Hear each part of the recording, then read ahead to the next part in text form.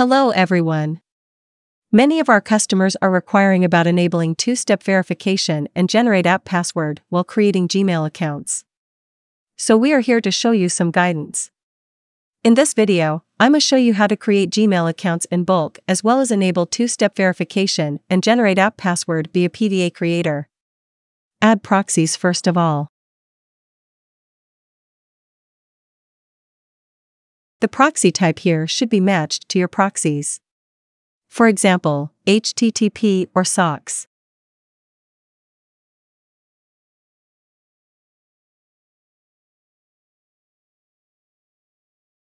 Then select Gmail 2FA app PWD and add a new campaign. Type your campaign name and account count here. Next, click Bind Proxy to use proxies we added just now. You should add usernames here. The data can be imported from a file or created randomly.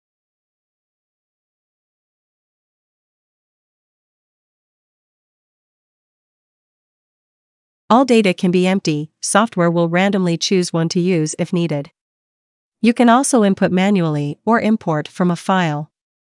Then choose the phone service you want to use. If you don't know what to fill in, the description below can be helpful. I'd like to use 5SIM, so I need to fill in 2 here.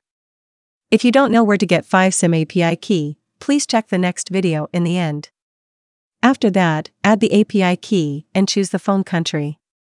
For some other options on these pages, you can read the description below and set up as you wish.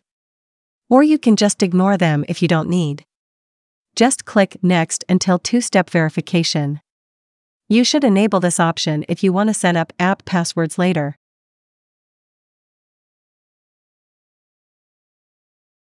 App passwords is an option in your Google account security settings.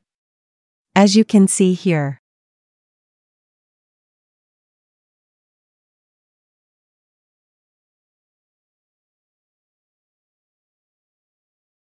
Then add app and device here.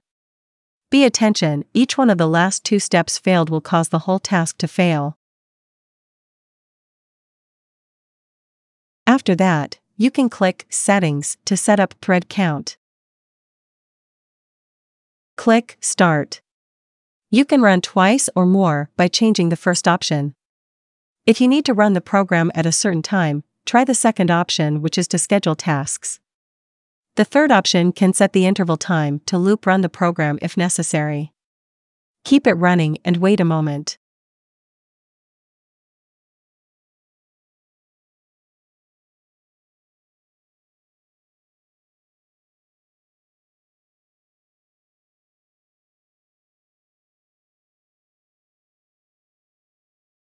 Some tasks failed because the proxy is unstable or the phone number from 5SIM is already used.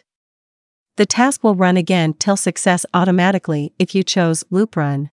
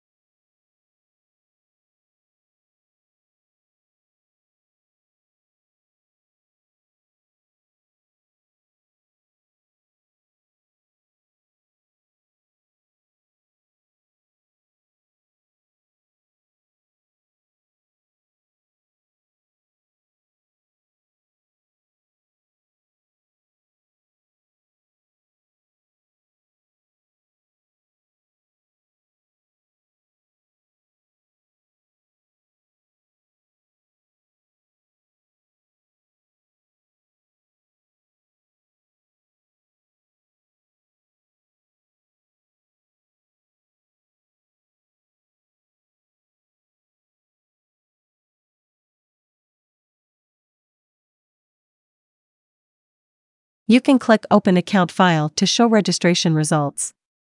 That's all today. Thanks for watching.